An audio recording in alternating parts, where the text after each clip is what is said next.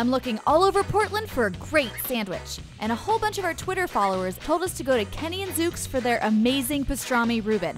I'm totally down for it. As soon as we get down from here. You have to be the actual Kenny from I am Kenny the Kenny. Zuke's. Can I call you Kenny? You, if you really want to piss me off, yeah. Oh, well, No, that's no, not you, good. You can call me Ken. I'm glad I asked. Ken is a transplanted New Yorker who realized there was a lack of great smoked meat up here in the Great Northwest. So he and his partner, Nick Zukin, decided to become pastrami pioneers. We smoke about 2,000 pounds of pastrami a week now. Wow.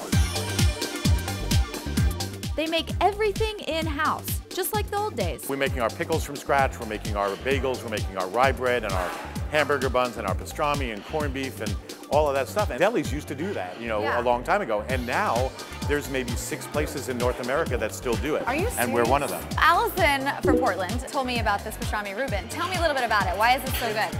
I mean, it's a pretty standard Reuben, except we're doing it with really good pastrami that we hand slice. We don't cut anything by machine. And we're doing it with our rye bread, and we're actually buttering the bread, which isn't exactly kosher, but the whole sandwich isn't anyway. But we, we, we're pretty liberal with the butter, and we just, you know, pack it with good things.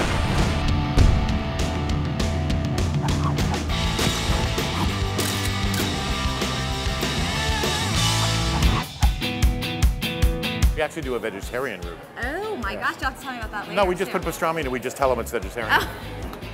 He's a trickster, isn't he? I've got actually two vegans I know who actually came up to me and said, we ate one of your pastrami sandwiches and we're vegan. And I guess, Are you serious? Enough about vegans and vegetarians. I want some meat. this is the smoker, so this is kind of the center of the whole kitchen.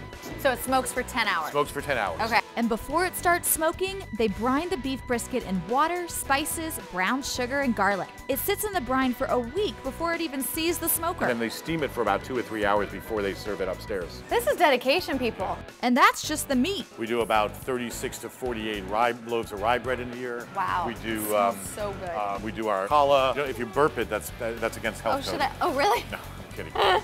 Being down here makes me so hungry, though. I'm dying to get my hands on that sandwich. Jason, I need to know exactly how to make this Reuben. You gotta teach me. We gotta take our rye bread that we make it fresh every day. I'm noticing a theme here. The Russian dressing that we make here as well. Ooh, this looks amazing.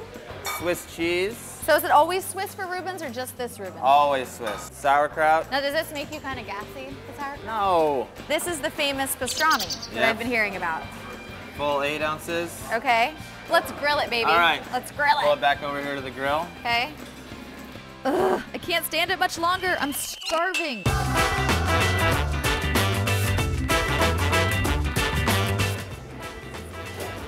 Oh my god. Mm. Holy, that's good. That's amazing. Yeah. Why do you like this pastrami Reuben? Super juicy. Yeah? Can't get enough of it. My family's from New York, so I know a good pastrami on Ryan. This Yeah. is it. Thank you so much. I had so much fun here. And thanks to Ken and Allison, your suggestion rocked. So, guys, follow us on Facebook and Twitter. We are going all over the country, and we want to hear where we should go next. We want to know what your best bite is. Want a bite? Doesn't it look so good? Um,